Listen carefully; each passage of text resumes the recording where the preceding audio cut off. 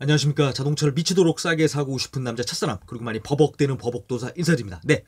오늘 제가 할 거는 바로, 아, 개소세가 6개월 연장이 됐죠. 그래서 2019년 6월까지 이제 개소세 인하 혜택을 보는데, 그거에 발맞춰서 제가 아, 투싼을 가장 현명하게 사는 방법을 올리도록 하겠습니다. 많이 부족하지만 최선의 노력을 다해서 올리도록 하겠고요. 그리고 일단 감사한 분이 있어서 아, 좀 인사를 드리도록 하겠습니다. 네.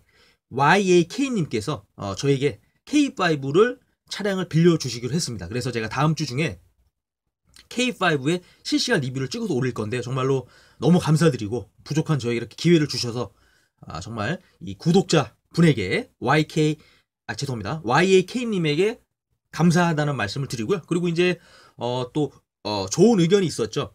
제가 이거는 예전에도 말씀을 드렸지만은 제 동영상이 200개가 넘지 않습니까? 그래서 어떤 분께서 재생 목록에 좀 정리를 해달라. 보기가 너무 복잡하다. 그래서 제가 어, 재생 목록에 현대자동차, 기아자동차, 쌍용, 또 르노, 쉐보레, 그리고 이제 자동차 리뷰, 뭐 기타 뭐 할인 조건 이런 것들을 어, 목록별로 정리를 해놨습니다. 그래서 좀 더 보시는 분들이 편안하게 보실 수 있도록 세팅을 해놨고요. 이렇게 이 많은 분들이 어, 정말 저에게 도움을 주시고 또 좋은 지적 예, 이런 것들은 바로바로 바로 받아들이는 진화하는 진보하는 네, 발전하는 이 찻사람 버벅도서가 되도록 열심히 노력하도록 하겠습니다. 네.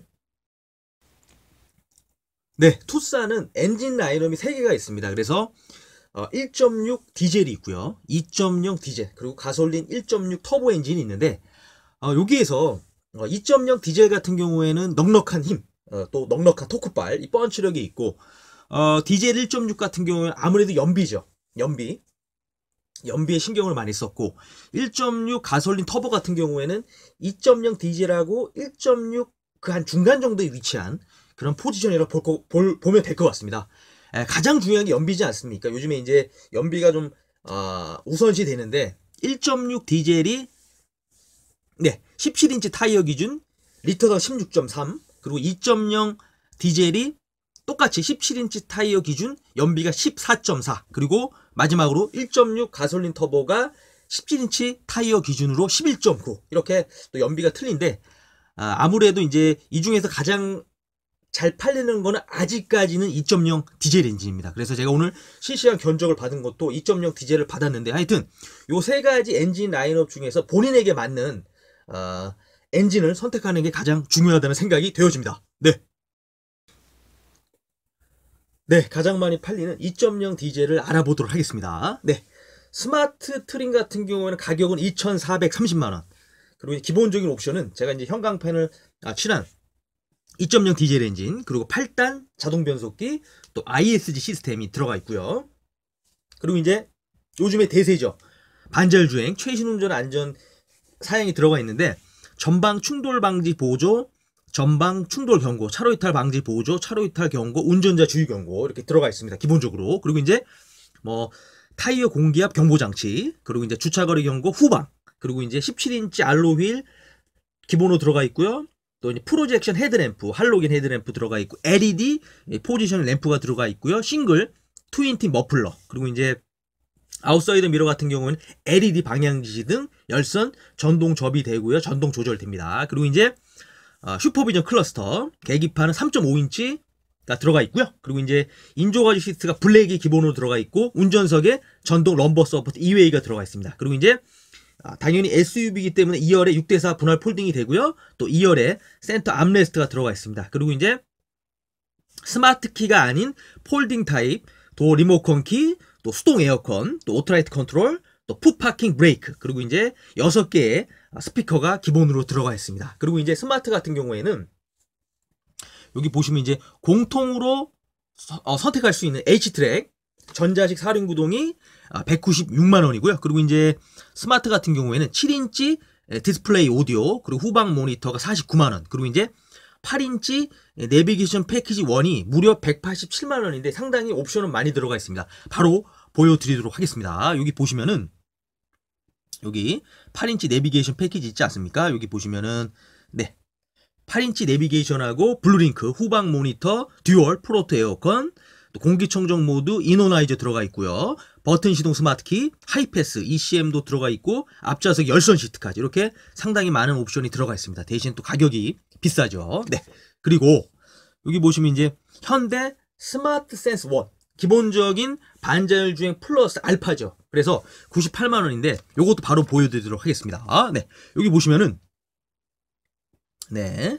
여기 보시면 일단은 smart cruise control, stop and go가 이제 들어가 기능이 들어가 있고요. 고속도로 주행 보조. 요거는 내비게이션을 넣어야 됩니다. 그리고 이제 후측방 충돌 경고, 후방 교차 충돌 경고, high beam 보조, 전자식 parking 브레이크, auto hold 기능까지 이제 들어가 있는 요거를 또 어, 요게 들어가 있는 옵션이죠. 그리고 이제 파노라마 썬루프 roof rack이 113만 원인데 요거는 좀 잘한 것 같습니다. 네, 요거하고 이제 경쟁하는 이 형제차인 스포티지는 최하위 트림은 이 파노라마 썬루프 선택 못 하는데 투싼 같은 경우는 최하위 트림임에도 불구하고 이 파노라마 썬루프 선택할 수 있게끔 했다. 이 파노라마 썬루프가 나오니까 제가 외치지 않을 수가 없습니다. 한번 외쳐보도록 하겠습니다. 스포츠카를 탈수 당신이 걱정 마라. 2019년형 투싼에도 널 위해 파노라마 썬루프가 준비되어 있다. 113만 원. 그리고 18인치 alloy 휠 타이어가 또 29만 원을 선택하면은 추가를 하면 또 넣을 수가 있고요. 네, 이렇게 스마트 트림을 설명해 드렸습니다. 네. 네, 모던 트림 같은 경우에는 스마트 트림 대비 가격이 127만 원이 상승을 했는데요. 어, 기본적으로 추가되는 게 LED, DRL, 주간 주행 등, LED 주간 주행 등하고 또 roof rack, 가죽, 스티어링 휠, 변속기 knob가 들어가 있고요. 그리고 이제 앞좌석, 뒷좌석 열선 시트, 네, 버튼 시동 스마트 키하고 열선 핸들하고 또 2열에 송풍구가 들어가 있고요. 옵션으로는 여기 보시면은 8인치 내비게이션 패키지 2인데 요거는 바로 보여드리도록 하겠습니다. 128만원짜리인데 여기 보시면 이제 2가 있죠. 그래서 8인치 내비게이션하고 블루링크, 후방 모니터, dual full auto 에어컨 이렇게 들어가 있고요. 그 다음에 이제 아, 현대 스마트 센스 1 요거는 아까 전에 설명이 드렸죠? 어, 동일합니다. 여기 보시면 이제 현대 예, 스마트 센스 1 반자율 주행 요거를 이제 넣을 수가 있고요. 그 다음에 이제 파노라마 썬루프 그리고 스타일 패키지 1 어, 스타일 패키지 1이 중요하죠. 여기 보시면은 제가 너무너무 좋아하는 옵션인 full LED 헤드램프 어, 정말 저의 차량은 이게 없습니다. 근데 어떤 분께서 말씀을 하시더라고 싸제로 달면 되지 않냐. 근데 싸제로 달 수 있습니다. 다만 구조 변경을 해야 되기 때문에 배보다 배꼽, 배꼽이 더 크죠. 그래서 돈이 더 많이 들어갑니다. 그렇기 때문에 full LED 헤드램프는 꼭 어, 옵션으로 선택하시라고 좀 말씀을 드리고 싶습니다. 그리고 이제 LED rear combi lamp 18인치 alloy 휠 타이어 그렇기 때문에 어, LED 어, 헤드램프하고 또 이제 18인치 alloy 휠 그렇기 때문에 상당히 매력적이죠. 요거는 꼭 옵션으로 넣으라고 좀 말씀을 드리고 싶고요. 그 다음에 이제 인테리어 디자인 selection 요것도 바로 설명해 드리도록 하겠습니다. 네. 여기 보시면은 좀 더 내장을 좀 고급스럽게 만드는 건데요. 어, 카키 brown two-tone 내장, 그리고 인조 가죽 감싸기 및 real stitch, crash 패드 콘솔 사이드에 들어가 있습니다. 네, 좀더 옵션, 그러니까는 실내를 조금 더 고급스럽게 마, 만든다고 보시면 될 것 같고요. 그리고 이제 convenience 패키지 69만 원인데 요거 같은 경우에는 여기 보시면은 네. 요즘에 이제 많은 분들이 원하는 옵션이죠. 운전석 통풍 시트. 아쉬운 거는 앞좌석이 아니라 운전석만 통풍 시트가 들어가고요.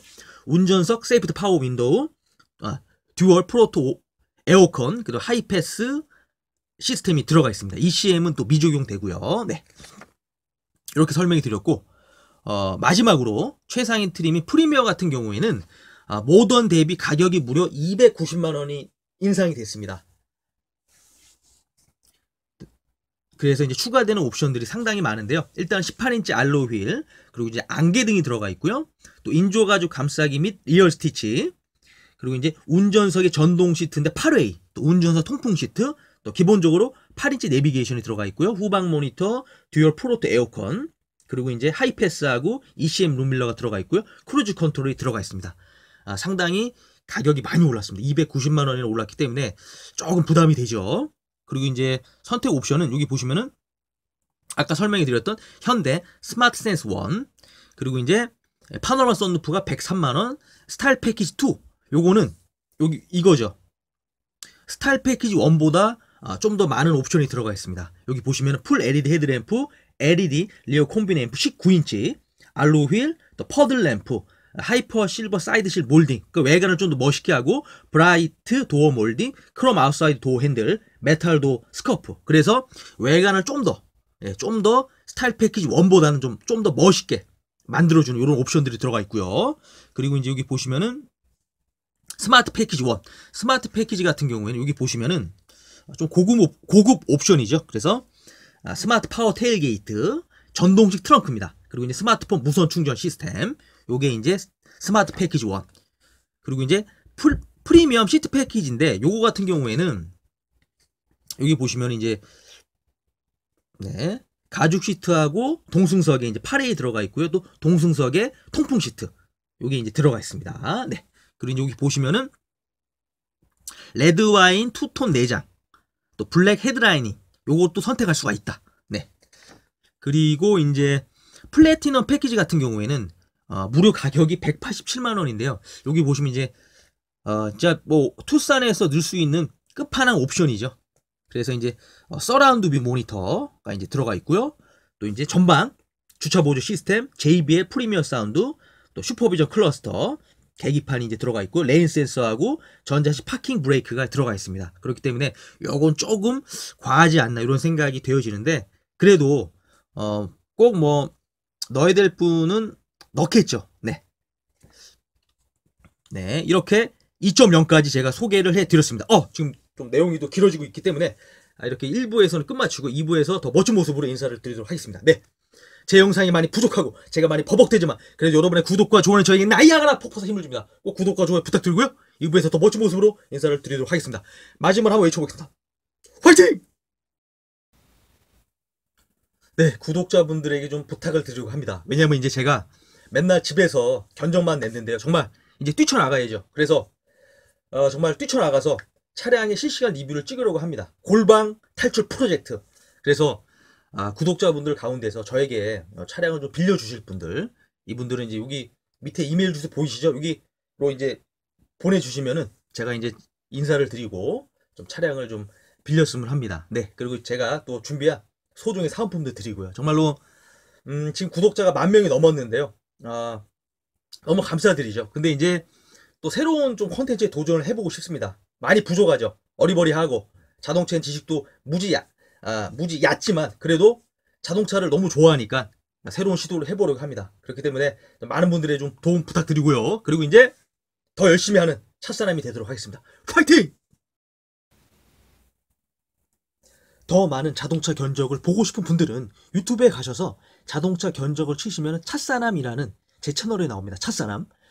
거기 가셔서 필요한 견적 영상을 보시면 좋을 것 같습니다. 도움이 되실 것 같고요. 거기서도 구독과 좋아요 꼭 부탁드립니다. 감사합니다.